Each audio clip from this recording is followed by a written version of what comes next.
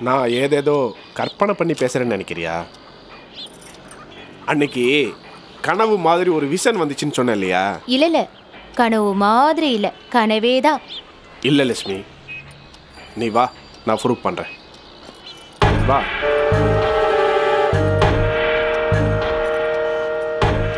கையை கொண்டாவ ஜில்லுன்னு இருக்கா? சிமெண்ட் தரையை விட டைல்ஸ் எப்பவும் ஜில்லுன்னு தாங்க இருக்கும். ஆ? அதை அப்படி பார்க்கக்கூடாது.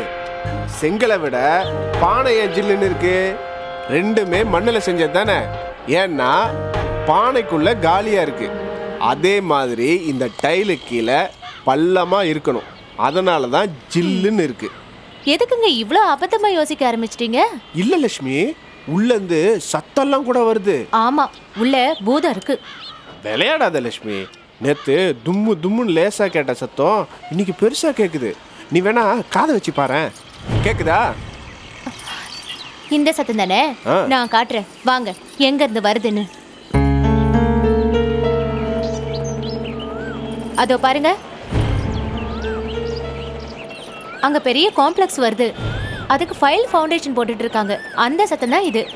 வீட்ல ரெண்டு நாளா எங்க தூங்குனாலும் இந்த சத்தம் தான் கேக்குது. இத பாருங்க. இதெல்லாம் விட்டுட்டு உருப்படியா எப்படி நம்ம வீட்டை கட்டி முடிக்க போறோங்கறத யோசிங்க. வீணா கற்பனையில கோட்டையெல்லாம் கட்டிட்டு இருக்காதீங்க. கற்பனை இல்லை லட்சுமி இந்த டைல் கடியில நிச்சயமா புதையல இருக்கு. எனக்கு நல்லா தெரியும். எப்படி தெரியும்? எப்படி? ஏதோ ஒரு நாள் கனவு கண்டுட்டு நீங்களா அவங்க பேசினது இவங்க பேசினது எல்லாத்தையும் சேர்த்து வச்சு குழப்பிக்கிட்டு? இப்பதான் புரியுது. ராமசேஷன் அங்குள் சொன்னதுக்கு அர்த்தம். என்ன சொன்னாரு? சொன்னாரு. இந்த வீட்ல இருந்தவங்களுக்குலாம் எப்படி மறக்காண்டதுன்னு முதல்ல அந்த ரெண்டு பேர் படத்தை தூக்கி போட்டு வந்து பேசுறேன்.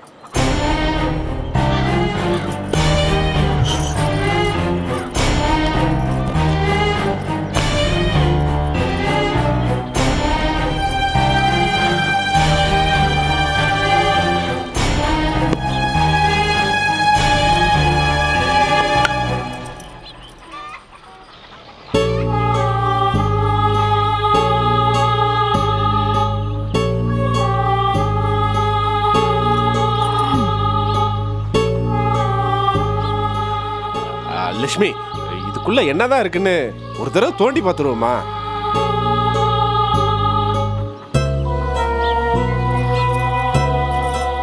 எந்திரிங்க.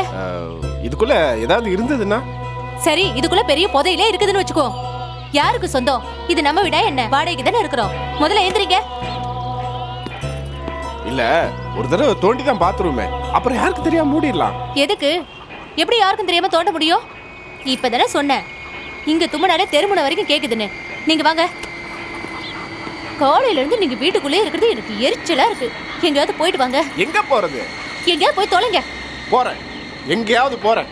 அப்புறம் நீ என்ன பண்றேன்னு நான் பார்க்கறேன் போங்க போங்க. சரி போறதான் போறீங்க. ஹார்ட்வேர்ல கேட்டன் ஆர்டர் ஆர்டர் கொடுத்துருக்கேன். அனுப்பிட்டாங்களான்னு பார்த்துட்டு போங்க. பார்க்கறேன் பார்க்கறேன் சொல்கிறேன் அவனை பார்த்தா அப்படி பேசுகிற மாதிரி தெரியலையே. Hello mister Prabhu. நீ போப்பா உங்கள் அண்ணன்கிட்ட பேசி பார்க்குறேன்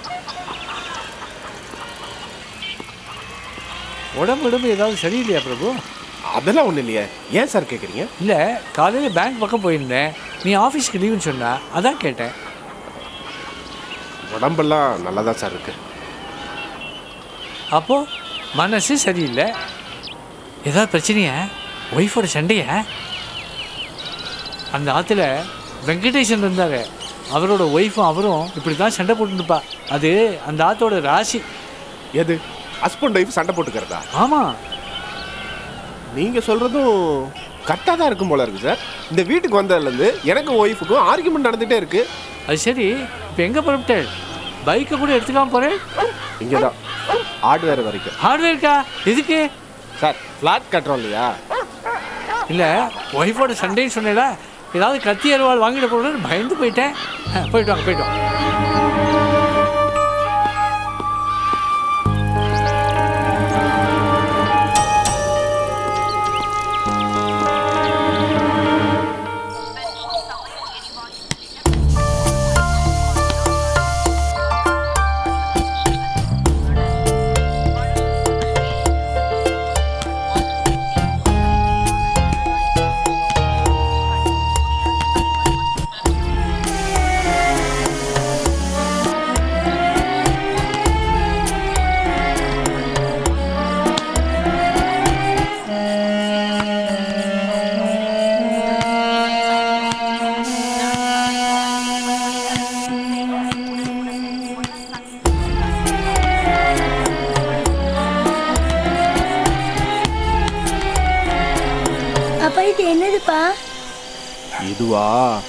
மந்திர பெண்டுலம் போ போ போய் விளையாடு போ.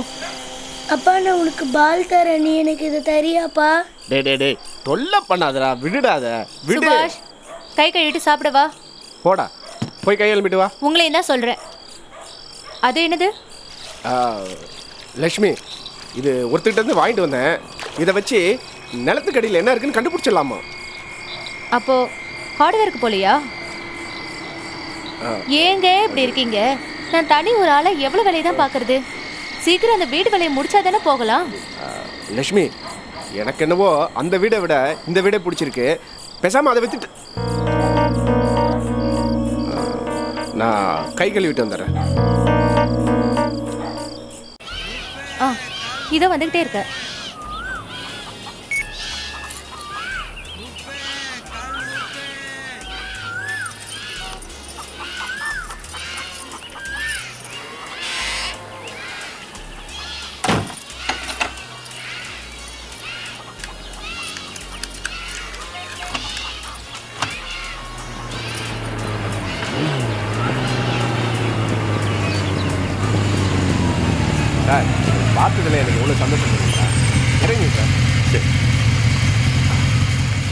வாங்க சார் வாங்க உள்ள வாங்க வாங்க சார் எனக்கு இன்னைக்குமா ஆபீஸ் போகல? இல்ல இவர்தான் மணிகண்ட பணிக்கர்.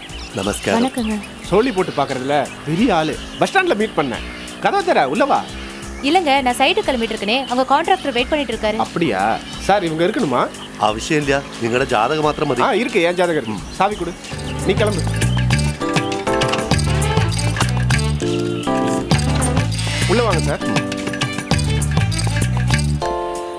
வாங்க சார்.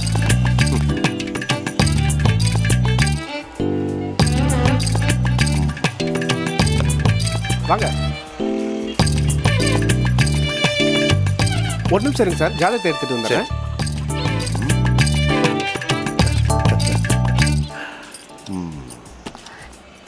ஏங்க எதுக்கு அவரை கூட்டிட்டு வந்தீங்க? இப்ப சோலி போட்டு பார்த்து அவர்கிட்ட என்னத்தை கேட்க போறீங்க? லட்சுமி அவரோட ஃப்ரெண்டு ஒருத்தருக்கு அவங்க அம்மா வழியிலேருந்து சொத்து வரும்னு முன்கூட்டியே சோலி போட்டு சொன்னாராம். அதே மாதிரி எனக்கு ஏதாவது திடீர் புதையல் கிடைக்குதான்னு பார்க்க போறேன். ஐயோ உங்களுக்கு என்ன பைத்தியமா? ஊர் பேர் தெரியாதவங்கள வீட்டுக்கு கூட்டிட்டு வந்துட்டு சோலி போட்டு பாக்குற அது இதுன்னுட்டு வளர்றதுக்கு ஒரு அளவில்ல லட்சுமி. முதல்ல அவரை அனுப்பிட்டு வந்து பேசிக்கிறேன் உங்ககிட்ட. சார் இப்ப இவர் ஜாதகம் எங்ககிட்ட இல்ல. அம்மா வீட்ல கொடுத்து வச்சிருக்கோம் ഓഹോ உங்களை தெரியாம கூட்டிட்டு வந்துட்டாரு കുഴപ്പമില്ല ജാതകം വന്നിട്ട് വന്ന് പറയൂ സാറേ ഞാൻ വരാം தொந்தரவுக்கு மன்னிக்கணும் சாரி സാരല്ലേ പിന്നെ ഞാൻ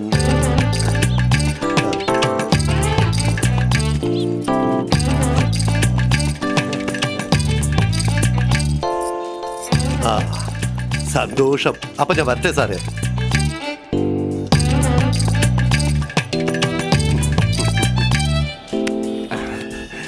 ஏங்க நீங்க இன்னும் இந்த புதையல் அபத்தத்துல இருந்து வெளியே வரலையா? ஜோசியம் ஜாதகம்னு இறங்கிட்டீங்க? அது இல்லை லட்சுமி நீ அங்கே தோண்டி பார்க்கக்கூடாதுன்னு சொல்லிட்டியா? நானும் யோசித்தேன் அதுலேயும் ஒரு நியாயம் இருக்குது தோண்டி அங்கே ஒன்றும் இல்லாமல் போயிட்டா அதான்.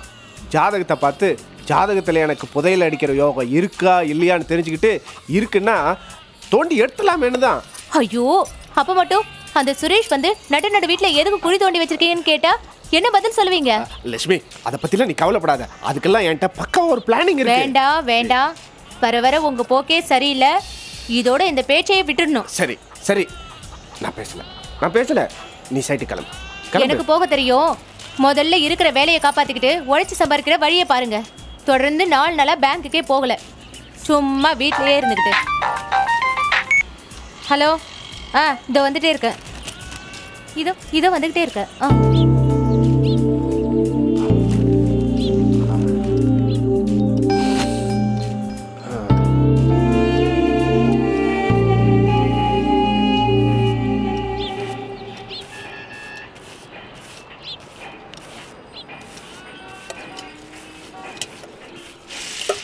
ஐயா கொஞ்சம் காலை எடுத்துக்கோங்க. ஒழுங்கா படியை பெருக்கு. நடந்தா காலில் மண்ணு ஒட்டுது. அம்மா தரையெல்லாம் மேடும் பள்ளமாக இருக்குது எவ்வளோ தான் படியை பெருக்கினாலும் மண் இருக்க தான் செய்யுது.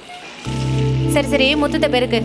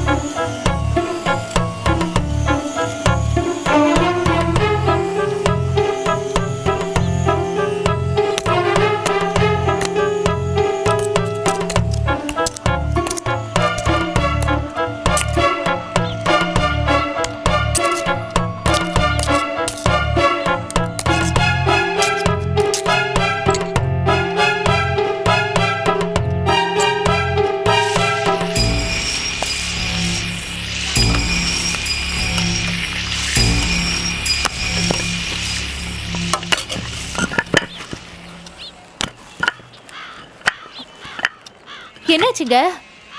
ஐயோ இப்படி தரையெல்லாம் பேந்து பேந்து கிடக்குது. இல்லை லட்சுமி. உட்காரலாமேன்னு சேர் அங்கேருந்து இங்கே கொண்டு வந்து போட்டேனா? அதோ பள்ளம் பள்ளமாக இருக்குல்ல. அதான் சேர் தானே சரிஞ்சு உடஞ்சிருச்சு லட்சுமி. அது சரி. எப்படி பள்ளமளமா ஆச்சு? இப்ப அரை மணி நேரத்துக்கு முன்னாடி நல்லா தானே இருந்துச்சு? ஆ என்ன கேட்டா? பழைய வீடு. தானே உடையுது. தானா உடையுதா? ஆ.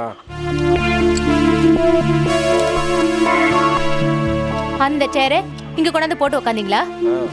இங்கதான் சோபா இருக்கே. அதுவும் பெரம்பு சேரு எப்படி உடையும்? என்ன நீ? எதுக்கு எடுத்தாலும் என்ன நம்பாமலே பேசுற? அதை எங்க கொண்டு போறீங்க? வெளியே கொண்டு போய் போட போறேன்.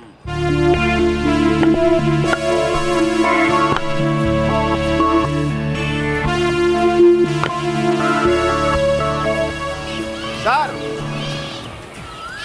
Sir. Hello mister Prabhu வாங்க.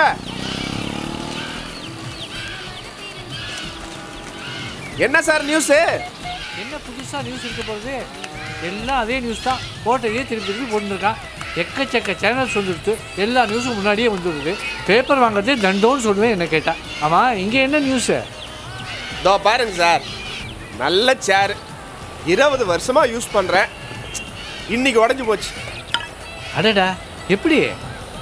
சார் இந்த வீட்டில் ஃப்ளோரே சரியில்லை சார். அங்கங்க பேந்து பேந்து போகுது. தரை போட்டு ரொம்ப நாளாக இருக்குமோ? இல்லையே. அன்னைக்கு நான் வந்தபோது கூட ரொம்ப நல்லா தானே இருந்தது. அது அது புழங்காம இருந்தப்ப நல்லா இருந்திருக்கும் சார். இப்போ நாங்கள் புழங்குறோம் இல்லையா? அங்கங்க உடைஞ்சு உடைஞ்சு போகுது.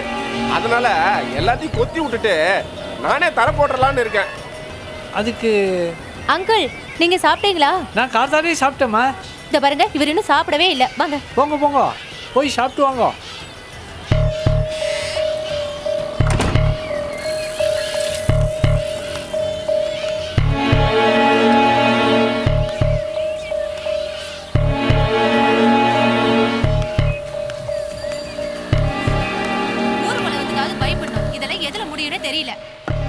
நீங்க இதெல்லாம் எதுக்காக பண்றீங்கன்னு எனக்கு நல்லா தெரியும். ஆ தெரியுதுல்ல. இப்போ அதை என் ஆசை புரிஞ்சுக்கிட்டல இனிமே என்னோட வேலை சுலபமாயிடுச்சு. இத பாருங்க. நான் உயிரோட இருக்கிற வரைக்கும் நீங்க நினைக்கிறது நடக்காது.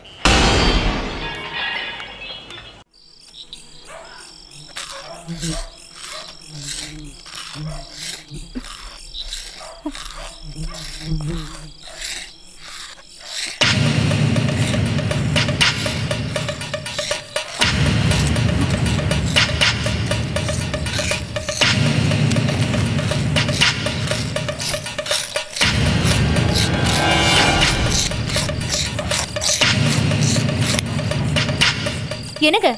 என்ன பண்றீங்க? கையில என்ன? முதல்ல அதை எடுத்து விட்டு ஏந்திரீங்க லக்ஷ்மி இந்த இடத்த ஒரே ஒரு தடவை தோண்டி பார்த்தலாமே என்கிட்ட இனிமே இதை பத்தி பேசக்கூடாது. எந்திரிங்க. அதை கொடுங்க. டார்ச் லைட்டையும் கொடுங்க. போங்க போய் தூங்குங்க. போங்கன்னு சொல்றேன்ல.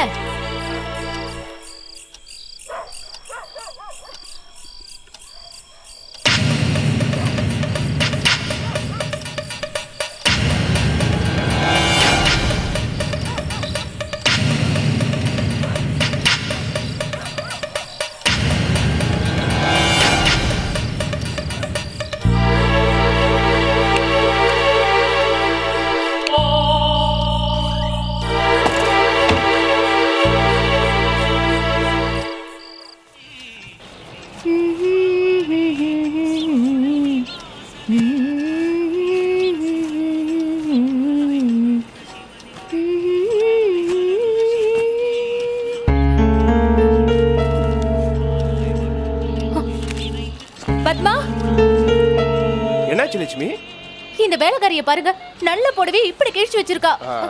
அவ என்ன பண்ணுவா பாவம்? தரையெல்லாம் இப்படி பேந்து கிடக்கலையா நீ நடக்கிறப்ப பட்டு கிழிஞ்சிருக்கும். தரையில பட்டு கிழிஞ்சா எப்படி கிழியும்னு எனக்கு நல்லா தெரியும். அப்போ இதெல்லாம் உங்க வேலை தானா ஏங்க இப்படி இருக்கீங்க? நீ எதுக்கு எடுத்தாலும் என்னையே குறை சொல்லு. முதல்ல சுரேஷ்க்கு ஃபோன் பண்ணி இந்த பேந்து கிடக்கிற தரையெல்லாம் சரி பண்ண சொல்லணும்.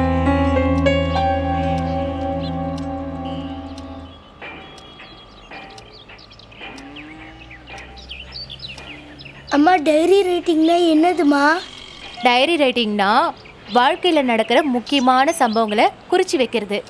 ஏன் கேக்குற? எங்க மிஸ் டெய்லி டைரி ரைட்டிங் எழுத சொன்னாங்கம்மா. அதை எழுதுனா இங்கிலீஷ்ல நல்லா வரும்னு சொன்னாங்க. நான் எழுதட்டுமாமா ம் எழுது எழுது.